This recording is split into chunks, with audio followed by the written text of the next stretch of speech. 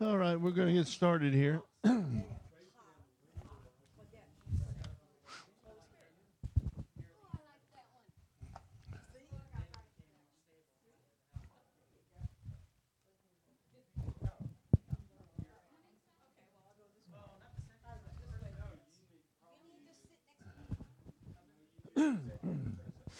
All right. I want to welcome uh, those that um, are watching us by internet or you will be watching us by DVD at a later time. My name is Apostle Terry Dunn. And this is the second night of our prophetic conference. Excuse me. What I'm going to do tonight is I'm going to give you lesson number seven of our School of the Internet, which is part three of the School of the Prophetic. And last night I, I mentioned these, and I want to mention them again because uh, those who are uh, who are not with us in the sanctuary can order these. And what this is, this is the School of the Internet series. It's 26 DVDs that'll give you everything you need to know in ministry, dealing with healing, uh, deliverance, salvation. Uh, prophetic ministry and apostolic ministry and, and much, much more. And you can go to our website at wildfireonthemountain.com. That's wildfireonthemountain.com. It's all one word. And you can order this, or you can order the School of the Prophets, and it's a prophetic workshop. This is a seven part series. Now, the 26 DVD series already has the seven part series in it. So if you order this, you'll get, uh, you'll get it all. now, if you have your Bibles with you, turn to Hebrews chapter 12.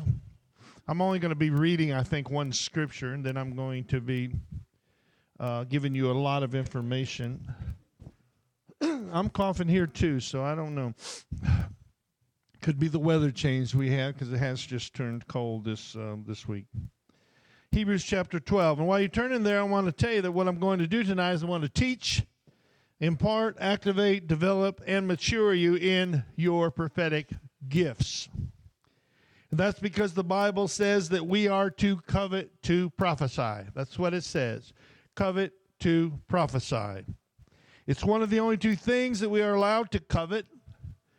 1 Corinthians 12:31 says covet earnestly the best gifts.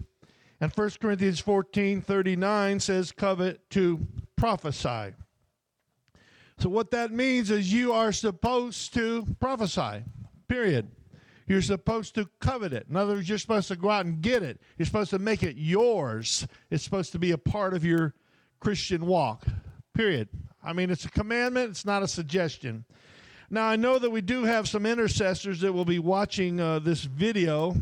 So, I want to tell you that all intercessors are prophetic and all prophetic people are intercessors, whether they know it or not.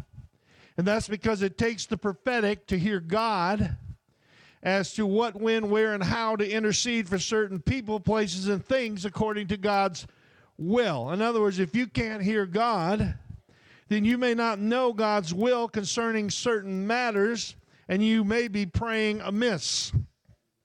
This especially applies to prophets and intercessors who do supernatural spiritual warfare. Now, I'll explain what that is because some of you may know. Uh, supernatural spiritual warfare is is uh, intercessors that generally they're prophetic, by the way, and I mentioned that. So the prophetic intercessors that can see into the spirit realm, and God allows them to see into the spirit realm, and they don't entertain fear when they look into the spirit realm. And they'll be making prophetic acts, like they'll be cutting off the heads of dragons with swords, or cutting off the snake's head, and so forth. And these are prophetic acts that represents their spiritual warfare against Satan and his kingdom. Now, uh, as an alternative to doing prophetic intercession, you can use your prayer tongues to achieve some of the same results. However, uh, it's best to be able to use both. And by that, I mean both your prayer tongues and your prophetic giftings. And especially if you are a uh, supernatural spiritual warrior for God's kingdom. Now, not everybody is called into the office of the prophet, but everyone, and I repeat, everyone is called to move in the prophetic, especially when serious intercession is required.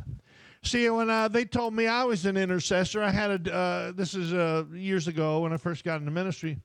Uh, the prophets and uh, so forth told me I was an intercessor, and I, uh, my definition of being an intercessor said, no, I'm, I'm not that because I, I pictured, you know, being an intercessor was looking in the spirit realm, and I have looked into the spirit realm, and to me, I don't like it. I ask God to help me cast out demons and devils without seeing them, and uh, he, he does. So I said, Well, I don't think I'm really an intercessor. Well, they said, You're a prophet, aren't you? I said, Well, yeah. They said, You're an intercessor. In other words, I am an intercessor with the use of the prophetic. If you took the prophetic away from me, I probably would not be an intercessor. You see, that's how the two work hand in hand. So, reading in Hebrews chapter 12, just going to read one verse. Look at verse 25. It says, See that you refuse not him. Who's him? God. See that you refuse not God that speaketh. You know what he's saying? You cannot refuse God when he's speaking to you. Therefore, he's saying you need to know how to move in the prophetic. And again, this is a commandment, it's not a suggestion. He says, For if they escaped not who refused him that spake on earth. Now, who's he referring to? He's referring to the children of Israel. You can read about it in Deuteronomy chapter 8. I've taught on it before, but I'll just give you a kind of paraphrase what that's about. That's the uh, time when uh, God came down and actually he, he, he was going to speak to everybody. But um, children of Israel pretty much said, Oh, Moses, we don't want to hear his voice. Oh, we don't want to hear his voice. So you just go up on the mountain, you hear what he says, you come down and tell us, and we'll do it. Well, God speaks with power, and if they would have heard God with the power of the prophetic, they probably wouldn't have got into the sin and iniquity that followed. But because they sent Moses up there and he was going to be their mediator and he comes back and he speaks, Moses did not speak in the same power that God himself spoke in. Therefore, they eventually fell into sin and iniquity, and y'all know the story the golden calf and so forth. So, what they did is they refused uh, to hear God. It says, uh, For if they escape not who refused him that spake on earth, that's what I'm talking about, Deuteronomy chapter 8 much more shall not we escape if we turn away from him that speaketh from heaven. Now, what this is, is a warning to us to learn to hear God through the prophetic.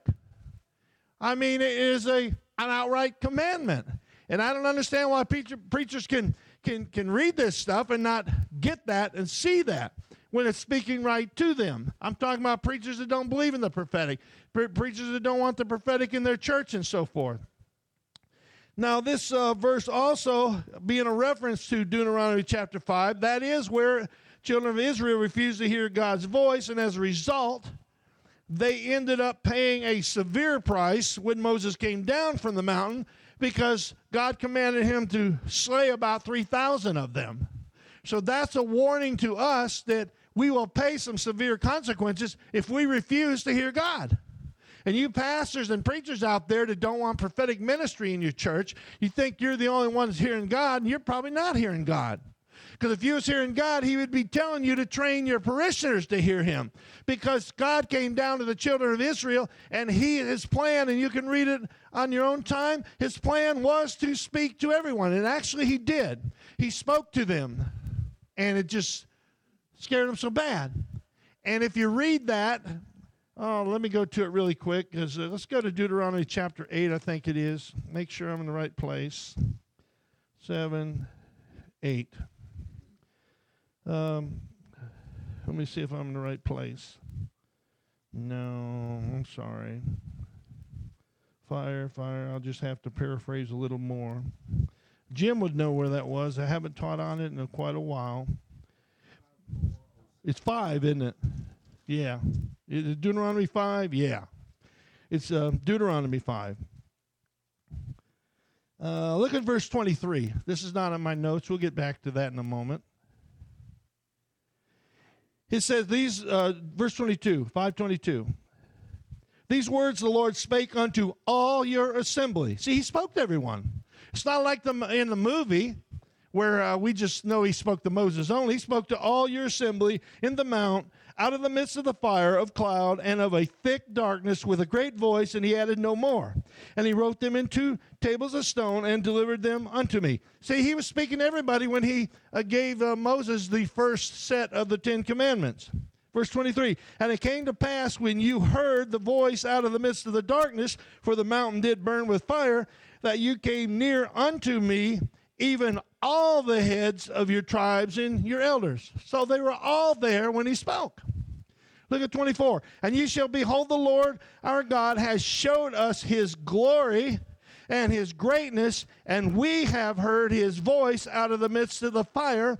We have seen this day that God does talk with man and he liveth. So what they're saying is, we know now that God can speak to us, and it's not going to kill us. But look at the next verse. Now, therefore, why should we die? Think about it. The verse before that, they're saying, Oh, we heard God's voice and it didn't destroy us. And now they're saying, Why should we die? He says, For this great fire will consume us if we hear the voice of the Lord our God any more, than we shall die. So you can see in verse 24, I think it is, they know they're going to live and they can hear God's voice. In verse 25, they're saying God's voice is going to kill them. So what happened between them two verses? They become demonized. And the devil is telling them, You will die if you hear God's voice. Now, that's what you pastors out there are hearing. If you believe you don't have to hear God's voice, who's telling you that? You're demonized. I'm sorry. Then it goes on to say, verse 26 for who is there of all flesh that has heard the voice of the living God speaking out of the midst of fire as we have and lived? For one thing, they have. they heard him and lived. Moses heard him and lived. You see how ridiculous this is? Because they take out the uh, factor of the, the, the, the demonic overtaking the children of Israel. And if you take out the demonic factor, which you pastors don't, don't believe in deliverance, that's what you're doing to your people. You're allowing them to be demonized where the devil is telling them they don't need to hear God. And you are demonized if you believe that. Then look at verse 27. Go thou near and hear all that the Lord our God shall say, and speak the, thou unto us uh, that the Lord our God shall speak unto thee, and we will hear it and do it. In other words, Moses, we don't want to hear God because it'll kill us. One verse they say we've already heard God, we didn't die. Now they say we don't want to hear him, it'll kill us the devil's entered in. So you, Moses, you go up, you hear what he says, and you just tell us. Isn't that the church today? Oh, we don't need to hear God. We got a pastor that, that, that tells us what God has to say every Sunday between uh, 11 and 12. Well, 11, 11 11.55 because we got to get out early to make it to the local buffet on Sunday mornings. It's ridiculous. It's not godliness. It's not the Bible. I'm sorry. Then look at 28. And the Lord heard the voice of your words when you spake unto me. In other words, he heard them when they said, We don't want to hear you, God. And the Lord said unto me, I have heard the voice of the words of this people, which they have spoken. Who's they? You could, in one in a primary interpretation, you could say it was the people speaking. In the secondary application, he knows it's the demonic that's in them that's speaking. They have spoken unto thee. In other words, the demons have spoken unto thee. They have well said all that they have spoken. In other words, everything they spoke, the demonic realm spoke through them. God is saying they spoke well. They voiced their opinion. If They don't want to hear me. And if they don't want to hear me, then I'm not going to speak to them. Look at 29. Then he says, Oh, that there was such a heart in them that they would fear me. See, they didn't have the fear of the God, they had the fear of the devil because the Satan had entered into them. And keep my commandments always that it might be well with them and with their children forever. You know what he's talking about? If you don't want to hear God, you bring in a generational curse on you and your children, you and your family. And you pastors out there don't believe in the prophetic and don't think your congregation needs to hear God because they got you, that's a spirit of pride. It's braggadocious. It's not of the Bible. It's not of God. Plus, you bring in generational curses on yourself and them. Verse 30 Go say to them, Get you into your tents again. In other words, get out of my face. I don't want to even hang around you. That's what he's saying. Uh, when you understand that, you can understand that the prophetic actually is, if not one of the most important ministries in the church, it is the most important because you'll pay a consequence when you refuse to hear God. And those people who know we're having uh, a, a, prophetic conference here, yet they don't want to come because they don't believe, well, God won't, God don't speak to them. They're just uh, a bunch of weird people making this up. You just brought a generational curse on yourself because you refuse to hear from him who speaks from heaven. So, what this verse, and I'm talking about Hebrew 12 25, is saying is that we're commanded to hear from God as He speaks from His throne in heaven. We're commanded. In other words, we're commanded to move in the ministry of, of the prophetic to one degree or another. And all of us can move in different degrees.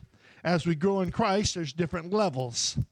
Now, the term prophetic simply means hearing God's voice for yourself or for someone else.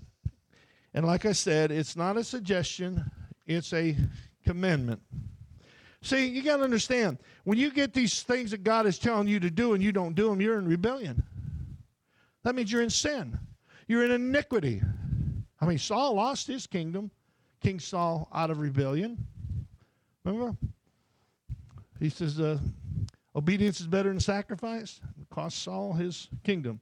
Now, there's three main categories by which God speaks and communicates with us. Number one is seeing. Number two is hearing. Number three is through feeling.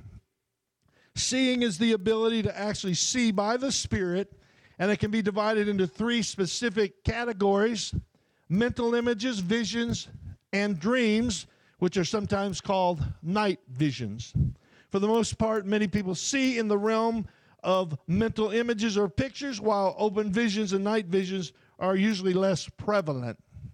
The term mental images can best be described as receiving mental pictures which are prompted by the Holy Spirit to our human spirit.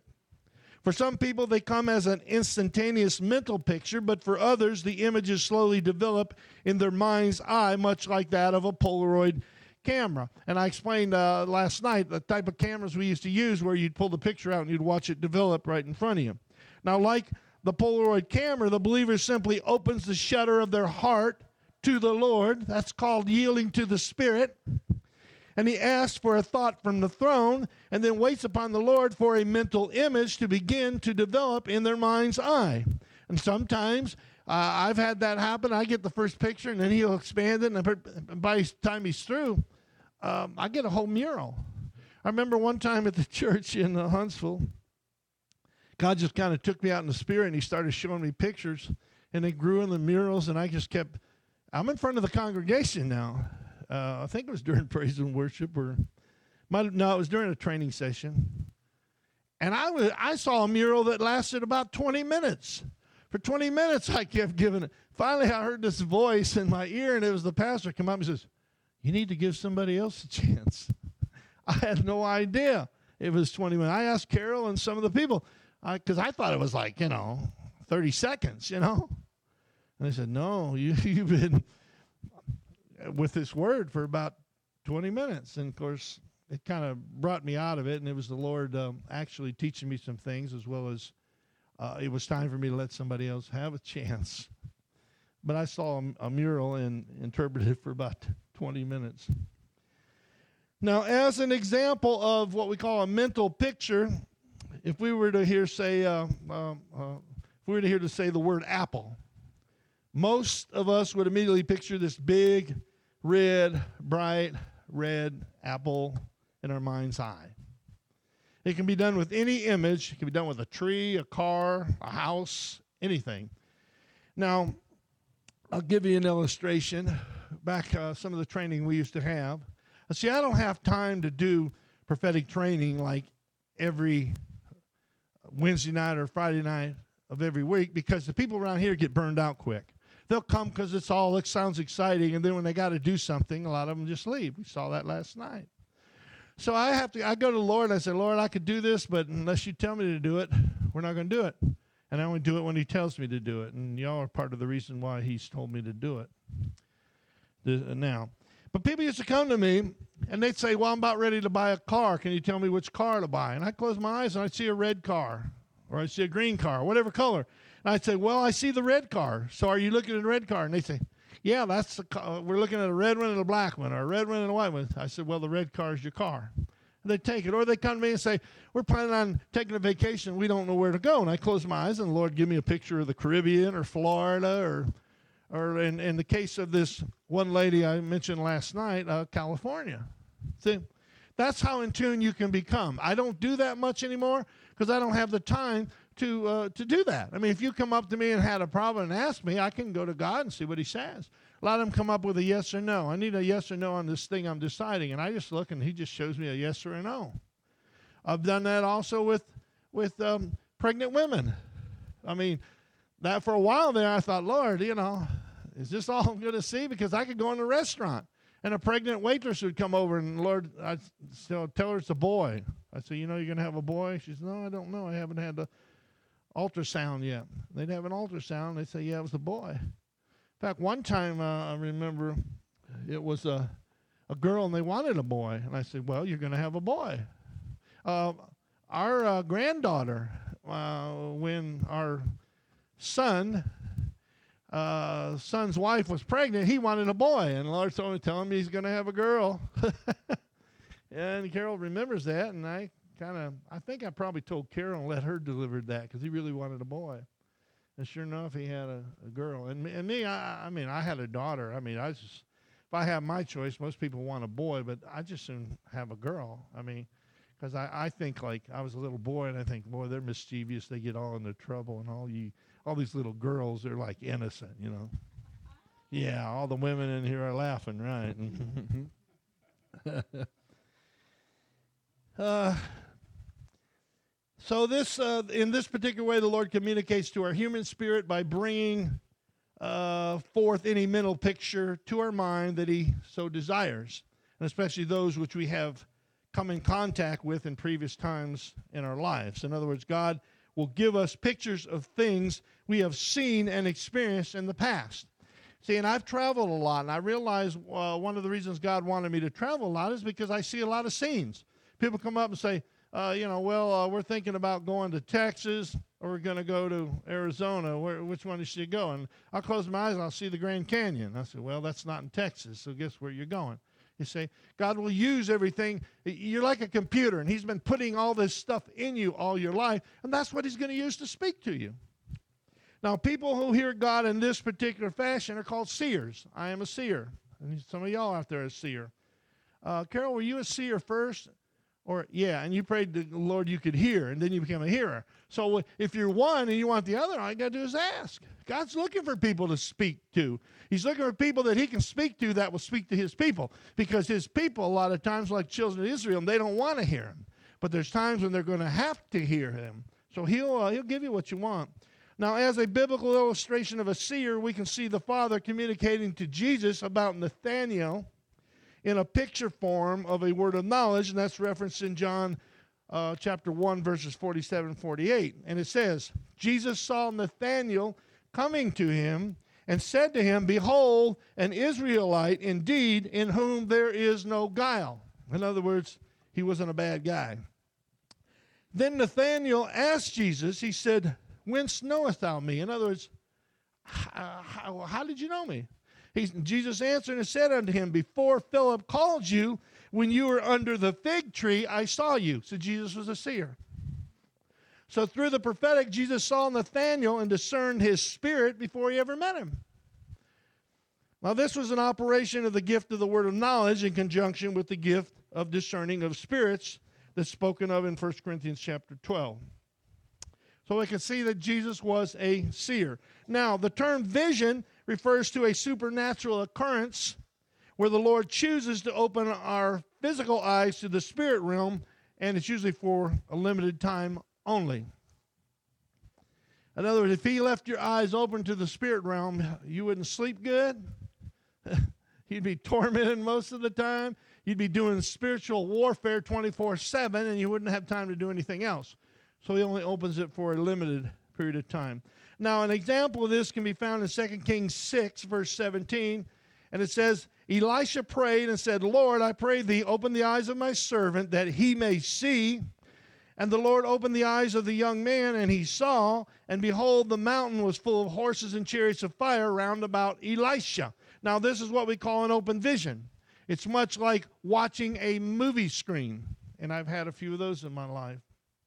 In Isaiah 6, verse 1 says, In the year that King Uzziah died, I saw also the Lord sitting upon a throne, high and lifted up, and his train filled the temple. Now, that's one of the songs we uh, sing when Paul's here. It's called um, I See the Lord. I see the Lord.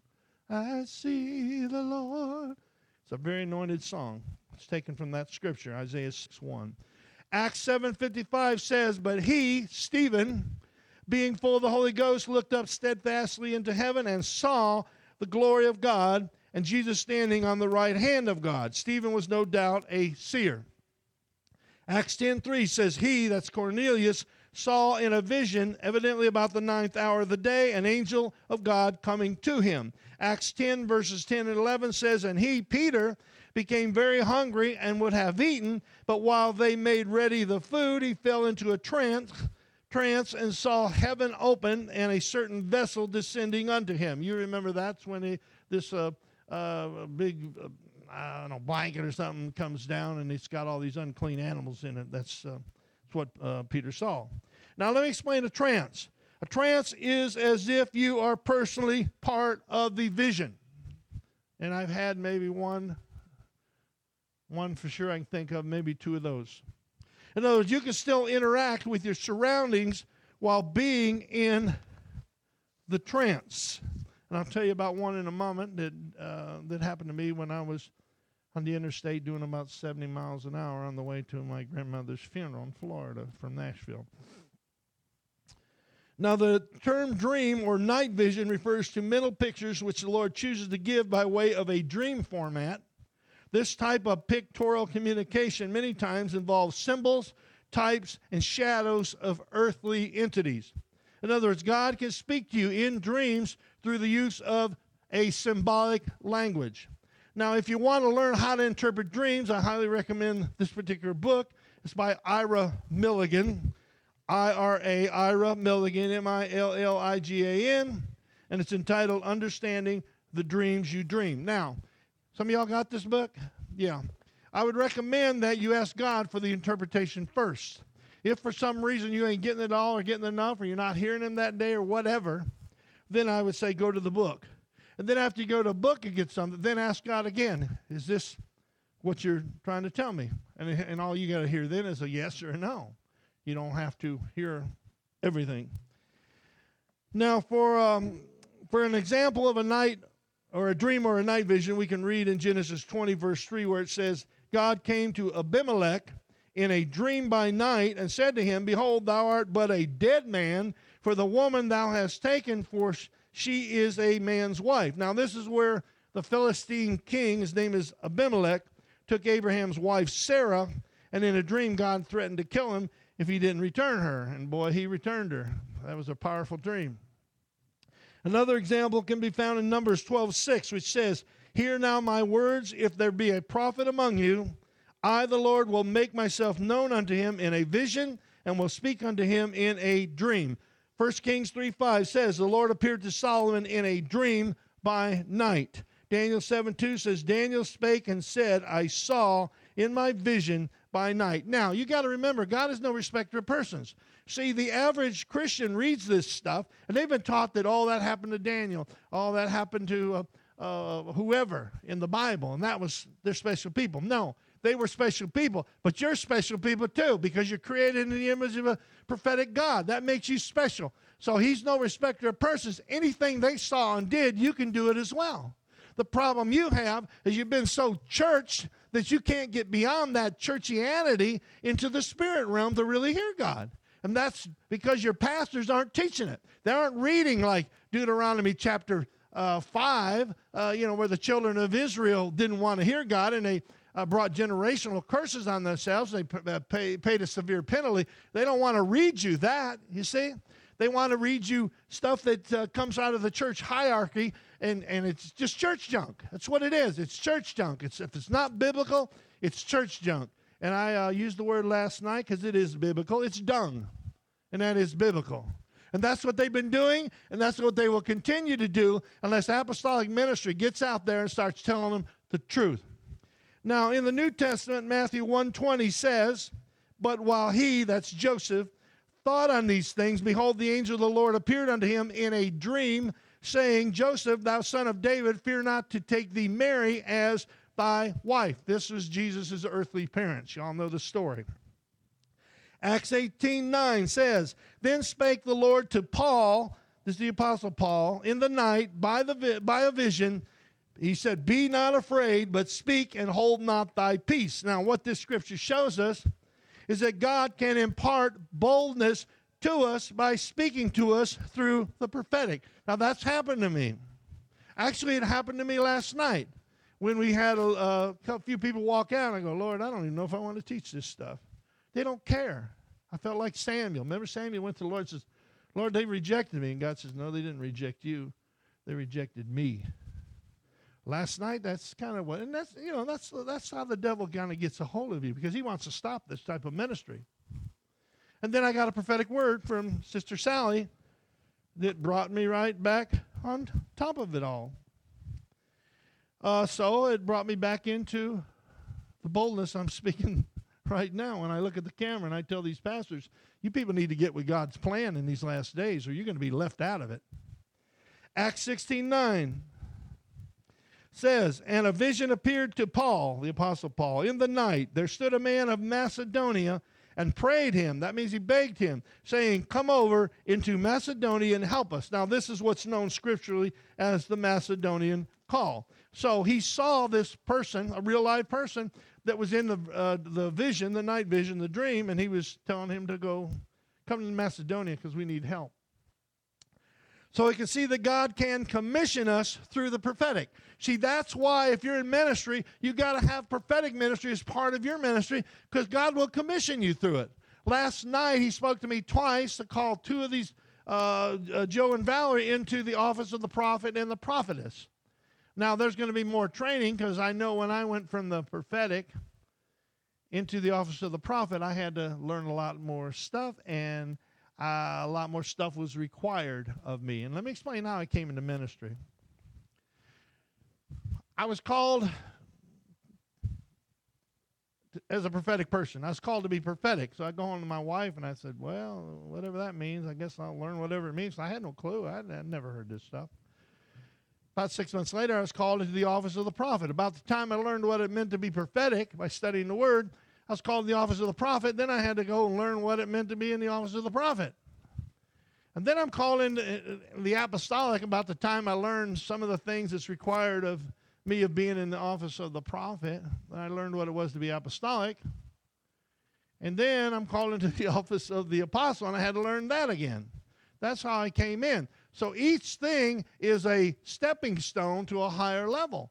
And God does that because uh, I had to learn about the prophetic. Why? So I can teach you about the prophetic. Then I had to learn what, it, what uh, what's required as you walk in the office of the prophet. Why? Because some of you are going to walk in and are walking in the office of the prophet. And, and, and it applies also to the apostolic and the office of the apostle. You've got to know what's required of you so you can teach it to people.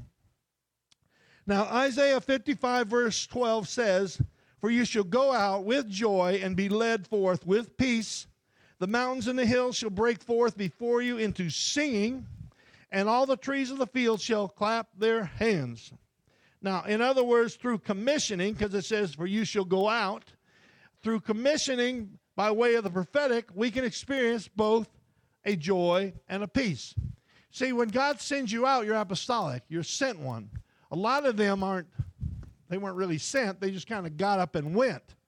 That's not apostolic. And you won't go with the joy and peace of God sending you out. Now, the following verse, Isaiah 55 13, says, Instead of a thorn shall come up the fir tree, and instead of the brier shall come up the myrtle tree. Now, this scripture spoke peace to me in the prophetic before I even knew I was a seer, before I even knew I was a hearer before I knew I was going to be prophetic in the office of the prophet, apostolic, and then in the office of the apostle. So we're talking some years back. Now, in my mind, when I read this, I saw my mother's myrtle tree. Do you remember her myrtle tree? She had a myrtle tree. And these things that grow on the myrtle tree, she, and she'd say, Watch. And all these birds would kind of get up there, and they'd be a, a herd of birds. And all of a sudden, whoosh, down in this myrtle tree, and they'd pick every one of those, whatever, myrtle, myrtle nuts or whatever they were off the tree, and it'd be bare. And I remembered that. And I said, Well, wow, what kind of tree is that? It's a myrtle tree. And I remembered that. And see, God knew that. So in my mind, I saw my mother's myrtle tree, and I felt a great peace about going to visit her. Because there was one time when I thought, well, I don't know if I should go visit her now, or should I go? I was working with Freddie Fender at the time, so should I wait till after the next gig or whatever?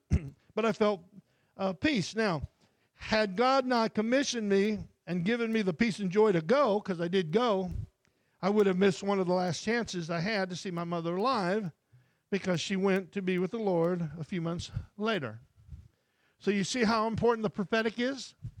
You can look back and you say, Wow, Lord, just thank you that I saw the myrtle tree and you put it in the Bible and you spoke it to me directly.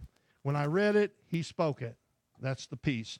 So I was a seer before I even knew what the prophetic was, which tells me that seers may be born with the gift whether they know it or not. And I believe everyone really that's prophetic is born with a gift, whether they know it or not, because they're created in the image of a prophetic God. Now, I don't know that all apostles are born uh, with that gift because I think uh, God had to take me through the training process to get me up to that level. And see, being in the office of the apostle, that's the highest level you can go. God gave apostles, prophets, evangelists, pastors, and teachers. That's the fivefold ministry. And when you read, I think it's uh, 1 Corinthians 12 28, it says, um, God put in the church first apostles, secondarily prophets, thirdly teachers. Pastors aren't even mentioned. First is the Greek word proton, which means first in place, rank, and order. As an apostle in the office of the apostle, you are first in place, rank, and order. So God could not give me that right away. He had to teach me how to, to, to, to live with it, how to handle it. Because it's a different it's the highest office you can have. It's higher than priest. Now, the priest would minister to the Lord, but the apostles are the ones that would actually operate the church. Apostles can do things. Sometimes I'll teach on, on uh, the office of the apostle, and you'll understand there's things that someone in the office of the apostle can do that other ministries can't do. Many things. And you had to, I had to learn that. Now, if an apostle isn't around, God will raise up an apostolic or a highly apostolic person, and He will anoint them for that special uh, thing that He's needing done that apostle is not available to do. And He does that same thing in the prophetic. If there's not a someone in the office of the prophet that's available at a certain time when God needs them uh, quickly or instantly or immediately, then he'll raise up a highly prophetic person. Therefore, that's why he wants you to become highly prophetic because he can use you in a, in a crisis. He can use you when um, uh, there's no one around, else around that he, he can use for a certain situation. Now, the second category of communication through, uh, through the prophetic is by hearing. Proverbs 20, verse 12 says, The hearing ear and the seeing eye, the Lord has made both of them. I'm a hearer and a seer. Some of y'all are as well. While some individuals are more sensitive in the realm of seeing, others are more receptive in the realm of hearing. Hearing the voice of God can come as an audible voice or it can come as a strong mental thought which originates from the Holy Spirit and is given to our human spirit.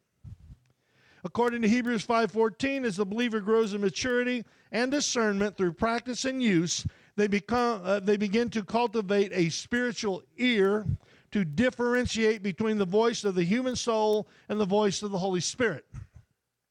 Many times it's the still small voice of the Holy Spirit that people discern when they speak religious cliches, and we've all heard them, like the Lord said, or I heard the Lord say, or the Lord told me such and such, or something to that effect, or the effect that God had spoken to them. Now, I've heard a lot of pastors say that in the pulpit.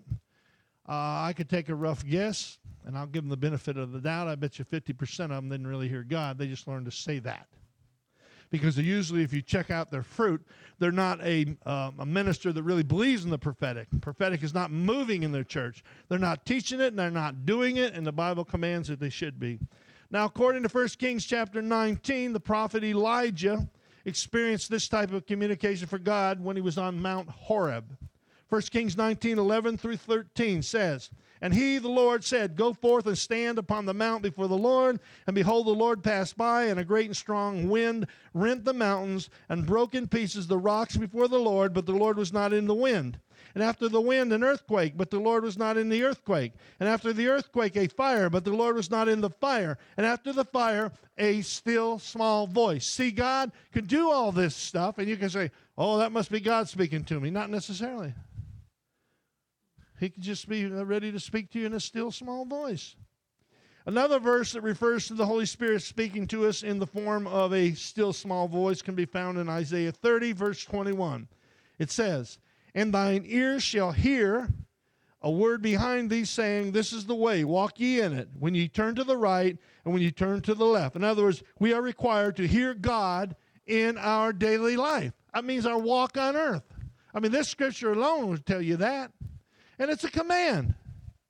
1 Samuel 3:10 says, "And the Lord came and stood and called as at other times, Samuel, Samuel." Then Samuel answered, "Speak, for thy servant heareth."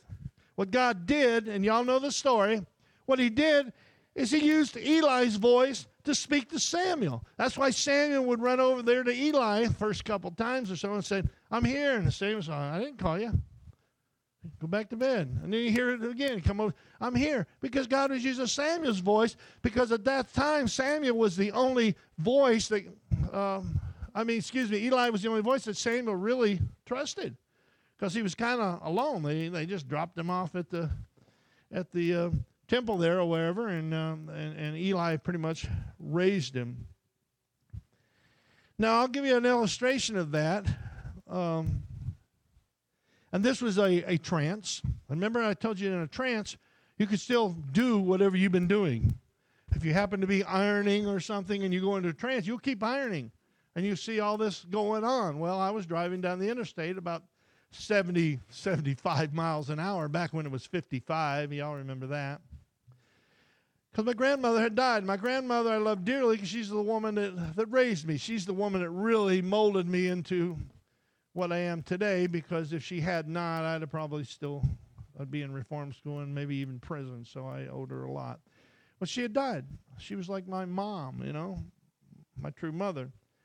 So I was uh, traveling down the interstate to try to get to the funeral in time, and I was speeding, of course. Tears were rolling down my eyes. I couldn't even see the road, and I mean, it was a mess. I mean, everybody else in the car was asleep, so they didn't know that I was somewhat endangering them, you know. And then all of a sudden, this big sphere of energy came, and it came right into the car. Between it was halfway out of the car where the windshield is, halfway in.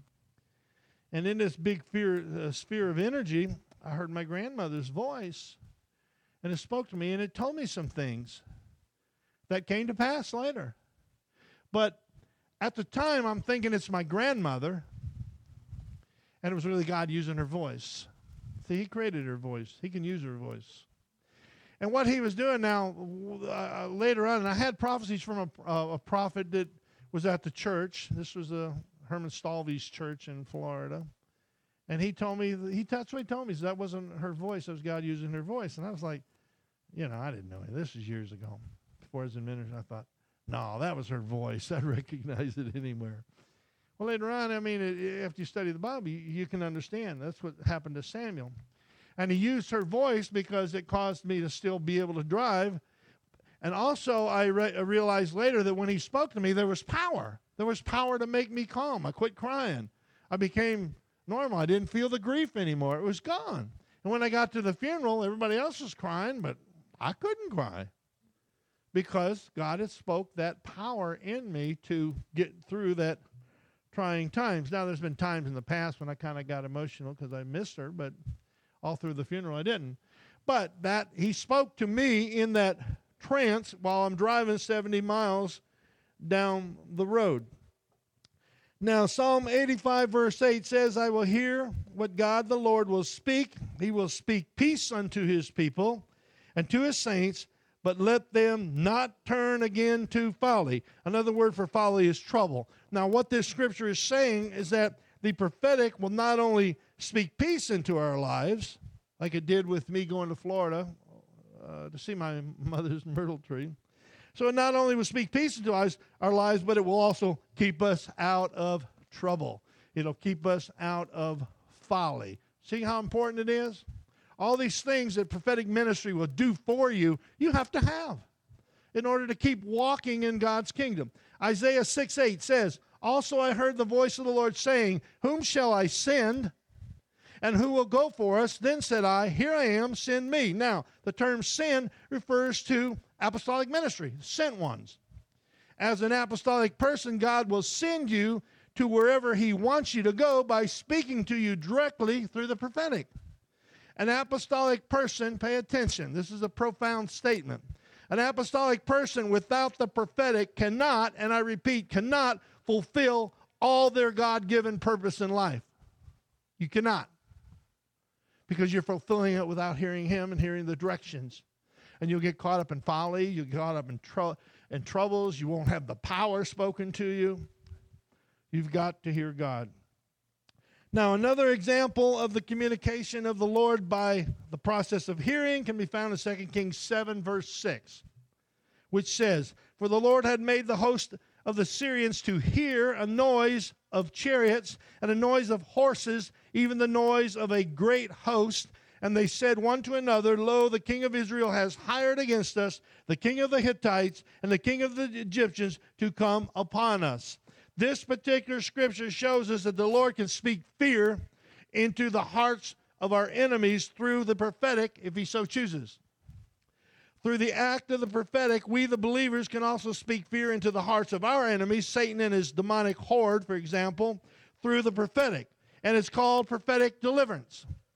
If you want to do deliverance to the highest degree that you can do it, then you want to be uh, able to hear God to the highest degree you can possibly hear Him. Prophetic deliverance is one of the many tools by which we are called to torment Satan rather than him torment us. See, you remember when uh, Jesus walked up to uh, this person who's demonized, and the demon spoke to him and says, Have you come to torment us before our time? Jesus pretty much said, Yes. And he told him, Come out. Others, he was there to torment. See, we're supposed to torment Satan. That shouldn't be your whole ministry. You just don't stand there in 24 hours and delivers tormenting every demon you can find. But you're supposed to torment in the way that they know they're going back to hell. They know that you have the power through the prophetic to hear God how to speak in certain cases to get them out because some of them are, are uh, hard to get out. Some of them uh, you got to do some other things to rout them out, and you deliverance ministers know that. I know that because I've been doing deliverance for years. But God can give you the perfect thing to say, and they'll come out. Luke 10 19 says, Behold, I give unto you, that's you, the saints, that's you. I give unto you power to tread on serpents and scorpions. What's that? That's demons and devils. That's what uh, ser- uh, serpents and scorpions represent demons and devils. He says, I give you the power and over all the power of the enemy. Now, the third and final way by which God communicates with us is through the prophetic act of impressions, sensings, and feelings. From time to time, I've moved in this, but as you get older, I move less in it because as your body ages, you have a lot of a lot of pain, aches, and pains that uh, aren't necessarily prophetic. It's called aging. While some believers are more receptive to the seeing or hearing mode, that's where I am. There are yet others who hear the voice of the Holy Spirit mostly through impressions. For them, a word of knowledge in regard to healing usually comes as a physical sensation in their body. And I explained that last night. You can walk into, say, a, a situation where you're going to be ministering and you don't have any aches and pains, and all of a sudden you got a pain in your elbow or anywhere. That's God telling you there's someone out there that has a pain in their elbow. And you need to, that's a word of knowledge. And you need to say, someone out there has a pain in their elbow. Come up here. God's going to heal it. And you'll be surprised. It'll be 100% every time you say that. Let me explain something to you. If you get that, it's there. If you say get a pain, and I pick that, oh, pain in the shoulder, let's just pick that. Or you get this pain, right? That means somebody's out there's got that pain. I mean, that's that's the bottom line because God gives it to you when you're giving it to you because you didn't have it. Now, you may say, someone has a pain right here, uh, Lord wants to heal you, come forward, and nobody moves. I've had that happen before. and then later, afterwards, they'll come up to you and say, Would you pay, pray for my shoulder? Uh, you know, and I'm like, What was that about? Because, see, my, my thinking is like, No, I don't want to pray for your shoulder. God spoke it, you should have come up. See, you kind of got to give them a break because they were shy, they didn't want to come up front, or they got all these excuses when they should have just marched up there and let God heal them. And that's happened. So when you get that pain and you speak it, it's out there. They may not come forward with it. One time I had a lady, I was giving her a prophetic word, and I picked up, I said, um, I see a relationship, and the relationship is you with this person is really, really bad. The relationship's really bad. She said, No, no, I have a relationship good with everybody. No, I don't have any bad one. Okay. Then she comes up to me after the service and says, Would you pray for my marriage? It's on the rocks. You see what I'm saying? I mean, you know, so you, you got to take that into consideration. Now, say the person that wouldn't come up because they had a pain in the shoulder. That's the devil using them to make you look bad. That's what it is. They don't know it. You can't tell them. That lady who should have come up, or, or when I, I saw the relationship, because I would have prayed for it. You know, that's the and, and people hear me because I'm on a microphone. I'm saying no, there's a relationship. No, I don't, I don't have a bad relationship. They weren't around later when she came to me privately. Says, "Will you pray for my marriage? It's on the rocks." So they, the devil, used her to make me look bad. Of course, that's part of walking in the office of the apostle. You are going to look bad. You're going to be the scrapings of one's feet. I taught on that, and you know what I'm talking about. Uh, in other words, you're going to be low on the ladder in certain people's eyes, and that's just the way you got to do it. But you got to abide by the truth, and you're working for Him. You're not working for man. Uh, now, while some, uh, let's see, others may tend to sense a slight impression in their spirit, such as a deep inward knowing. That means you know that you know that you know. A deep inward knowing about a person, situation, predicament, or a particular circumstance of some type. This is equivalent to what we Pentecostals sometimes refer to as having a witness in the Spirit. You know, can I get a witness? Can I get a witness? Yeah. Now, some saints tend to feel the emotions of another person as their particular method of hearing God. I knew one lady that she would hear God and she'd have the compassion. She just have emotion for them or whatever while others may receive what is known as a slight impression, which is confirmed by an overwhelming peace. In other words, if you get this and you feel peaceful about it, guess what? The devil probably didn't give that to you. God gave it to you. Matthew 27 19 says, When he, Pontius Pilate, was set down on the judgment seat, his wife sent unto him, saying, Have thou nothing to do with that just man Jesus, for he, I have suffered I have suffered many things this day in a dream because of him. The word suffered in the Greek is the, is the Greek word apostio, which means to experience a sensation or an impression. And that's what she experienced. This is a reference to Pontius Pilate's wife's dream about Jesus going before Pilate. And y'all know the, know the story. He was getting ready to condemn Jesus to death, really. And um, she sent him this note saying, Don't do it. Don't have nothing to do with him because she had suffered that night before in a dream. So that was a uh, an impression that she had. Hebrews 4:15 says, "For we have not a high priest which cannot be touched with the feeling of our infirmities." Hebrews 10:34 says, "For you had compassion of me in my bonds." Now, what we see in these two passages of scriptures that in Jesus' ministry, that's who the was speaking, feelings of compassion were quite evident just before healings and miracles took place. And that's according to Matthew. Y'all can write this down. I'm putting it on the uh, on the video. Matthew 9:36, Matthew 14:14, Mark 6:34, Mark 8:2, and Luke 10:33. It's on there. So uh, you people watch the uh, video, you can go back and and uh, reverse it and go back and watch it over and over to get all those scriptures if you need to. The sensation of feeling compassion played a big part in Jesus' healing and deliverance ministry. Now, many times I've prayed for people out of compassion, especially children. It's easy to have compassion for children. And they were healed because it was God's way of speaking to me and telling me what he was feeling and what he wanted me to do. That's what we were talking about earlier. Um, Sister Valerie and I, God will give you his feelings. You'll start crying and weeping and you have all these uh, uh, emotional things happening. You say, Why am I doing this? This isn't normally me. It's him. However, as a warning, we must be careful not to get our personal emotions confused with God's compassion. And how you do that is like what I just said. You think, that's not me. So who is it? It's him. Unlike compassion, emotionalism can sometimes be totally self serving in the realm of personal selfishness, and it can oftentimes tend to give place to fleshly spirits such as the spirit of self pity, depression, loneliness, and similar other demons. Through these particular spirits, the enemy could be setting you up for a fall. In other words, he can make you feel that you're getting the compassion, and then when you pray for this person, they don't get healed. You've been set up for a fall. So you can be set up for a fall by Satan as well as to, eh, he can do it to disappoint the person that you're praying for and steal their faith when they don't receive their anticipated healing. See how you got to watch all this stuff?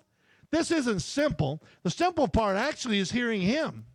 The rest is knowing how to use what he gives you. Therefore, you got to hear him even more. So you ask, well, how do I say this? How do I do this, Lord? Is this really you? You've got to give me some clarification, Lord. I'm, I don't know yet what to do, and I'm going to stand here until you tell me what to do. Uh, early in uh, in our ministry, there's many times when I'd go into the church and I didn't have any messages because everything message I had was prophetic. I mean, I never went down to the store and bought a book of sermons everything I get is like Deuteronomy, I think it's uh, 32 2, where Moses said it drops like rain from heaven. That's prophetic messages. They're apostolic messages that come through the prophetic. So I would have these type of messages. So when I started in ministry, I didn't have very many messages. You can only get about, you know, one a week, you know, because there are messages you'll spend 30 hours on. I've spent I spent on average 30 hours on a Sunday morning message because it's a message that God gives me. It's prophetic, and then I have to spend time aligning up with the Word because I'm not going to get up here and teach to the world and tell them a bunch of stuff without giving them the Scriptures to back it up. Because they don't even listen to me when I give them the Scriptures. Just think what they're going to say about me if I didn't give them any Scriptures. So that takes time 30 hours on the average per sermon. So in early, my early uh, ministry career, I didn't have any of these, one at a time and one at a time. So what I had to do was I'd come into the church and say, Well, I don't have a, a message this morning, so we're just going to stand here until God tells me what we're going to do. You remember those days? And I would. I'd stand there 10 minutes sometimes.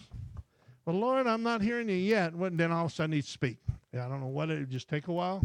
And we'd know what we'd do. And we'd do it, and it, they were great services. The ones I liked best was the ones when you prepared 30 hours, then you got up there and he changed it. Yeah, I must not have done my job in that 30 hour one. Yeah, he's, he's done, yeah, he's done that to me a lot. Um, that's why we must practice exercising our senses in order to discern good from evil, and that's referenced in Hebrews 5:14. And that's what we're going to do right now in our activation. We're going to exercise and fine tune our prophetic ser- uh, senses by asking God for a, a word, for a partner.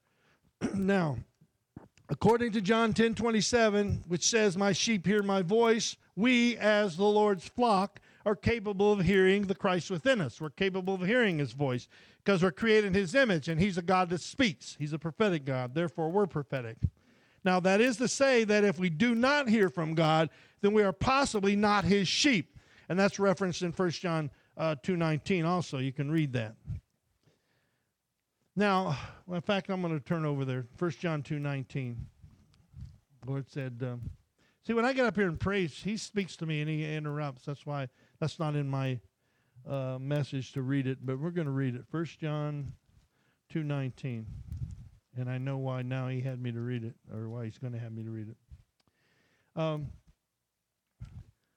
1 John 2.19 says, They went out from us. Remember? He's dividing the sheep from the sheep. They went out from us because they were not of us. That's what happened last night, folks. This scripture, along with the prophecy that Sally gave me, just brought me back. And see, I do. I go down. I'm biting, fighting all this stuff, and I'm down and then something. But come back up, and I stay up there. I'll go down and come. Up. It's it's a roller coaster ride. They went out from us. Some others they left us, but they were not of us. So in other words, don't worry about it. For if they had been of us, they would no doubt have continued with us. I mean, that's pretty, pretty, pretty plain, isn't it? In other words, if they'd have really been into what we were doing as his sheep that hear his voice in this local body, in this local church, then they'd still be here. They'd be back tonight. They'd be back tomorrow. Then it says, but they went out that they might be made manifest. In other words, that it would be known that they were not all of us. In other words, all them were not of us, if you read it in another translation. So that's what happened last night. So if that's the case, if you come in here and you were not to be in agreement with what we're doing, and what we're doing is the scriptural word of God, and you leave, then you're just not supposed to be with us. And it allows me to take the, that attitude, which doesn't allow the devil to have any any opening or, or have any way with my thought process because you're not supposed to be here. Now, I don't know where you're supposed to be, and you don't know where you're supposed to be because you don't stay here long enough to hear, learn to hear God so He can tell you where you're supposed to be. So you just go wandering around, wandering around, church to church, one, once in a while, whenever it's convenient, you go, and, and you're going to just grow old before you grow up. That's what you do. Lord, help us to grow up before we grow old. But that's what you're going to do. And we have uh, uh, uh, people that still come to this church. They came to us, and I ain't going to mention no names. She came to us, her and her husband, but I speak her. She came to us when we first started the church. First thing she says to me when she walks up to me is, I want you to know that me and my husband, we don't stay in a church no more than a week or two. Well, t- about 10 days later, she's gone. Then she comes back six months later, does kind of the same thing, you know. And then she's been back here now. Now she's gone again. And it's hard to pray for those people because they are not with us. Though you give them the chance to be with us, you have to do that. Jesus didn't turn anyone away, but they're not with us. So that scripture helps to understand that. So, with all this in mind that we covered, what we're going to do now is to prove that you are one of his sheep by getting a thought from the throne to bless someone else. And it's going to be someone you pick as a partner. We'll do that in a moment. We may not do it on the air. I don't know. I may close, have them close it down and all first. Now, God will speak to you in one of the following ways a mental image. In other words, you just kind of see this thing. A mental impression. It means it'll come and it leaves an impression, even though it doesn't stay, but you, you know, it's left the impression. A mental picture, much like the Polaroid cam- camera, and I explained that. It could, uh, you get one picture and it may expand to be as much as a mural. Just don't do it for 20 minutes like I did. That's a little rude. I didn't know any better. Uh, a physical sensation or a slight pain, uh, pain, and I explained that. You may get a pain you never had, then just tell your person, are you having a pain right here or whatever? You know, you may save their life. Because if they're about ready to have a heart attack and they're having some pains in their heart, God's going to tell you about it by giving you a kind of pain. And you say, Have you got a pain in your heart? And they say, Yeah, it's been uh, hurting all day, you know. And you pray and the pain will be gone. You just saved their life. He did it through you. That's how important the prophetic is. Everything ties into the prophetic. Everything. Deliverance ministry ties into the prophetic. Healing ties into the prophetic. Salvation uh, messages tie into the prophetic. Everything ties into the prophetic. And when I say prophetic, I mean hearing God as to the instructions of what you're supposed to do in that uh, particular ministry or, or uh, medium. Um, you may get a, an inward impression. That's more like in here, not so much in here. You know that you know that you know. Uh, a heartfelt impression uh, that may come in the form of, of compassion. That's not your compassion, that's His compassion. Uh, you may hear a still small voice. You may even hear an audible voice within your head. If you hear the, I hear that a lot, audible voice within my head. Nobody else hears it, but I just say, "Wow, Lord!" And, and when you hear the audible voice, it's like, "Yeah, you're still here with me, ain't you?" Because a lot of times you speak to me audibly in my head when I'm kind of down and beat up because I'm preaching the truth, you know? And you'll be down, and all of a sudden he'll speak. And let me tell you, when he speaks audibly in your head, he speaks with power. All of a sudden you can feel really down. He speaks you're up and ready to go. You're like revived, renovated, and everything. Now, according to 1 Corinthians 14 3, prophecy is for edification, exhortation, and comfort. So, like I said last night, don't bury anybody. If you get if you run into that, come to me, or, and uh, we'll handle it. Or don't marry anybody, and and don't deliver bad news, because God doesn't deliver bad news, but He will give them edification, exhortation, and comfort. See, God can deliver bad news in a positive way. Well, they don't even know it's bad news. That's why you got to hear Him and hear Him good to where you can get the directions how to do that. Also, remember that the word you receive is not for you. So don't worry if it doesn't make any sense. It's for the other person, it'll be for your partner. And don't go by the person's natural uh, appearance. Uh, Brother Kyle there is wearing some military um, um, pants. You know, looking, oh, I see you're going to go into the military. You know, you see what I'm saying? That's not God. That's just you looking for something. And I would rather you have nothing to say because you're not hearing anything than to make something up. We have had people that make something up. I had a prophet, and he was a prophet, like Balaam was a prophet. Balaam could hear God. That's why he spoke the, the blessings when uh, he wanted to speak curses. He could hear God, and God uh, told him what blessings to speak, and he had to speak them. But we had a prophet, and he was a prophet, and and uh, he came to Carol and I was been married what a year, maybe two, three years. And he came to my wife and he said, "Oh, your husband, like it's a prophecy. Your husband's getting ready to really do something good for you, and you're going to love it and all that." Then he comes to me and he says, "I think God's telling me that you should re-up your vows with your wife."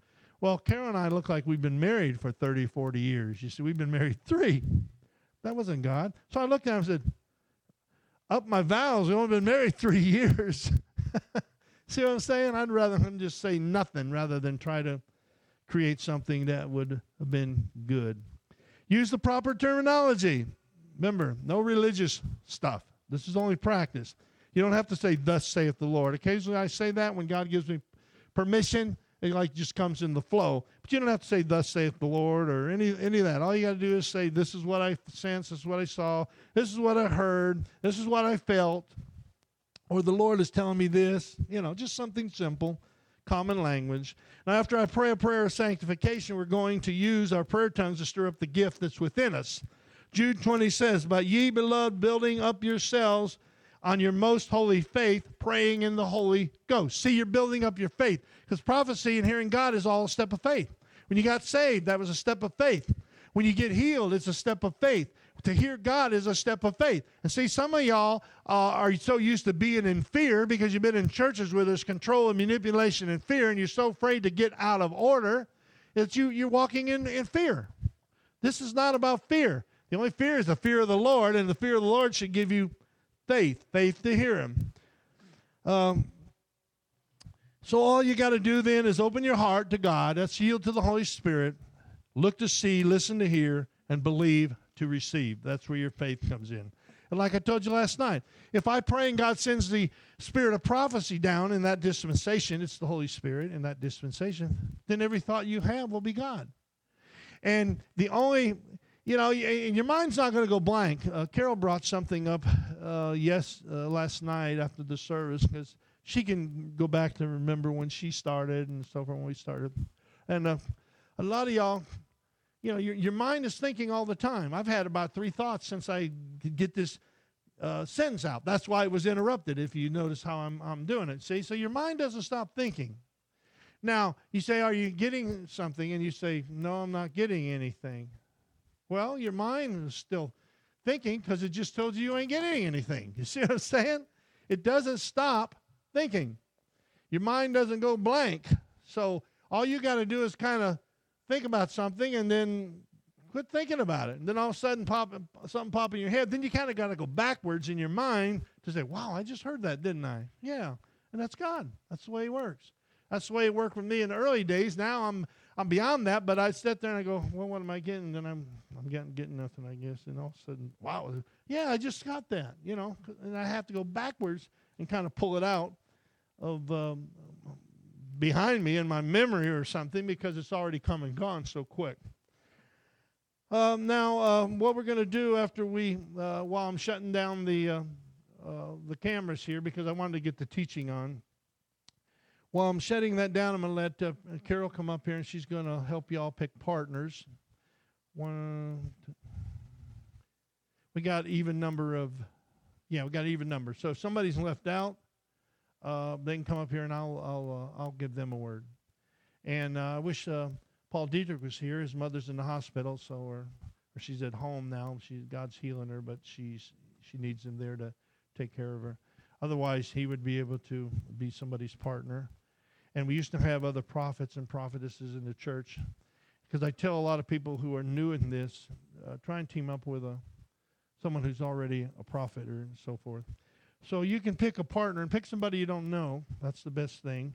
And when you're given this, you decide who's going to go first after I pray the prayer tongues, and we'll go silent.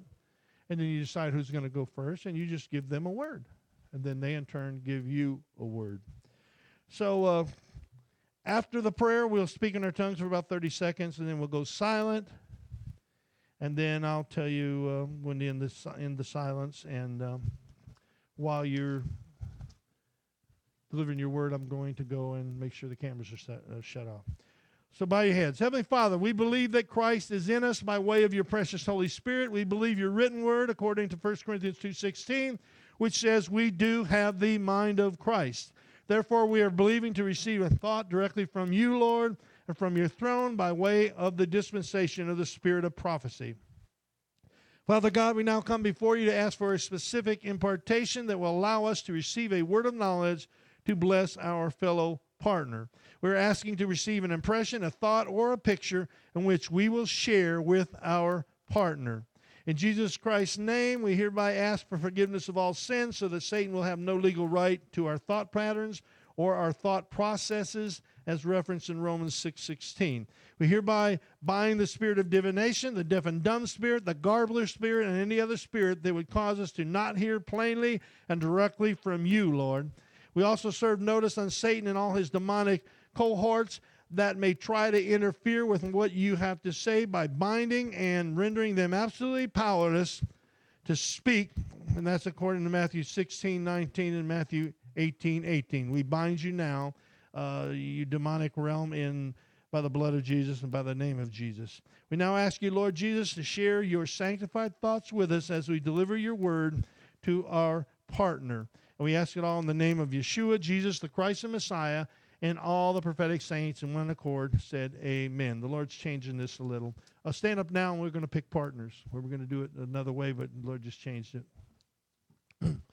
um, and like somebody be left over. Pick somebody you don't know very well. I mean, don't, you know, Doris don't need to give Jim a, a, a prophecy because it, uh, pick somebody. And it can be male, male, female, male, it doesn't matter. You got a partner? One, two. You there? And you're with Kyle, aren't you? Come on, Kyle. Oh, Tally. Well, you two have to fight over my wife, and she'll give you a word for sure. All right. Um, okay. Y'all kind of move a little bit away from each other so that you won't disturb them when you're giving the word.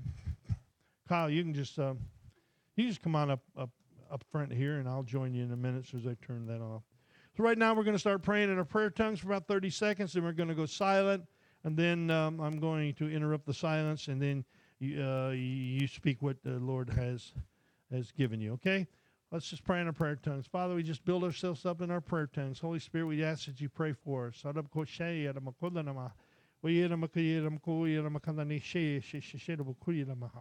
Ula mana yere mi kera mana na ma kanda na ma shota to shi shi shi shi shi shi ma. Uya ka mama ye me ke ko na hana ko na ma sha na ba ke. Ula mana na na yere ma ko na ma shota shi shi.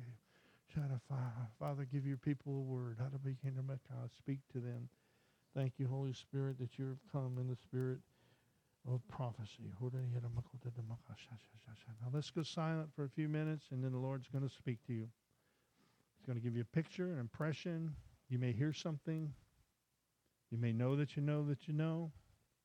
He can speak to you in many ways.